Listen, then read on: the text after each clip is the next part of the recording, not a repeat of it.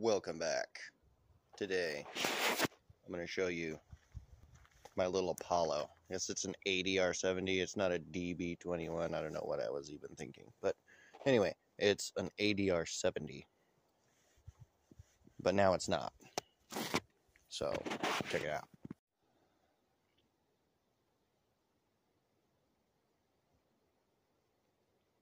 Here we have the ADR70 gone Honda. The big wheel on the front used to have the same as on the back. But when I got it, front tire was the only one that was any good. Well, it had the inner tube, a tire, the rim was bent, and the back rim was pretty well bent, and it needed a tire and inner tube. So there you have it. I did end up actually having to take the two that I had and put them both together. I pressed out the bushings inside of here because this guy here was all mashed. So I pushed out the bad bushing on this one. And then I pushed the good bushing out of the other one and put it in here. Now it works. But what we have here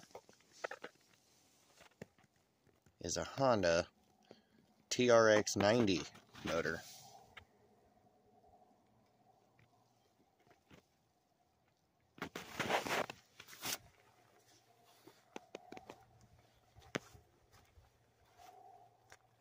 Fun little guy.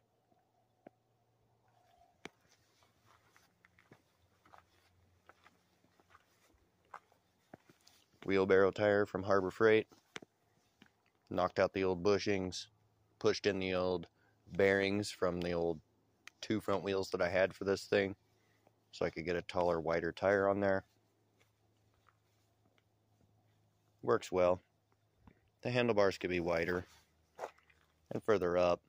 I mean, honestly, I think the whole bike could be bigger, but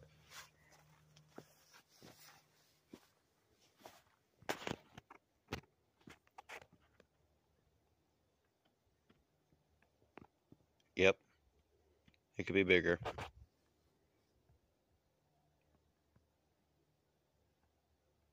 Longer forks in the front. A Longer swing arm in the back. I already have a super stiff shock in there. It came off of a four-wheeler, so... It, uh... It'll do wheelies with me on it. I mean, you can kind of tell why. Because, you know, center of balance is right here. Already. You know, you're going to be sitting right there. Kind of hugging the plastics and stuff. Like a normal dirt bike. Because it's about the same size as any other pit bike. And so is the frame. The only difference is, is the shock tubes. The tire and then the rear swing arm. If it was a little longer, like to there.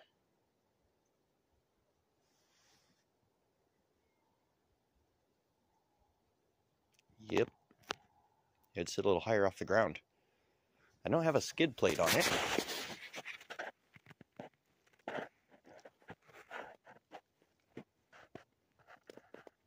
But that's because I lost the other skid plate. I had this one, which I used to hold this mess together, get it all lined up. But, yeah, it's not the end of the earth. This thing's pretty cool. It's pretty fun. It's definitely getting dark out. Tore it up on both of them today. I think I, yep, definitely rode this one more. I mean, this one over here is fun. He's talking about a hill climbing beast. Hill climbing beast. All the way. The hill climber. That's what it does. Climbs hills.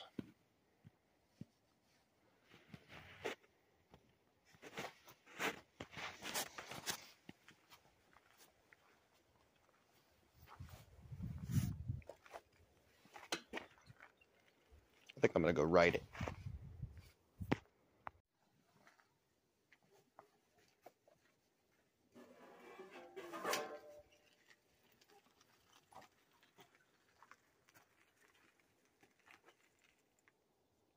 Little guy or big guy and a tiny bike. Yeah, little guy and a big guy.